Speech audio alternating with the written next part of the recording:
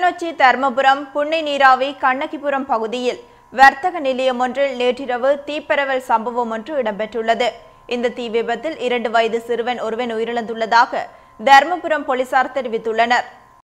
இந்த சம்பவம் நேற்றைய தினம் இரவு இடம்பெற்றுள்ளதாக தருமபுரம் போலீசார் தெரிவித்துள்ளனர்.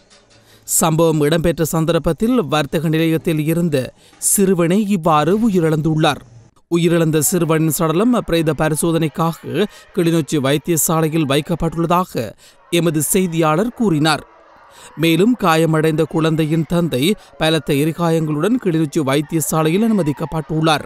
குறித்த சம்பவத்தில் வர்த்தக நிலையம் முற்றாக சேதமடைந்துள்ளதுடன் அங்கு இருந்த பல லட்சம் பெறுமதியான பொருட்களும் தீக்கிரையாகியுள்ளன இந்த சம்பவம் திட்டமிட்டு முன்னெடுக்கப்பட்டது என உயிரிழந்த சிறுவனின் உறவினர்கள் தெரிவித்துள்ளனர்.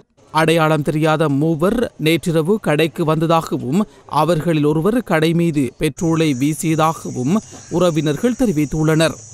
எனினும் இது குறித்து ஆராய அந்த பகுதிகளில் பொருத்தப்பட்டுள்ள கண்காணிப்பு கேமராக்களை பரிசோதிக்க உள்ளதாக தருமபுரம் போலீசார் குறிப்பிட்டனர்.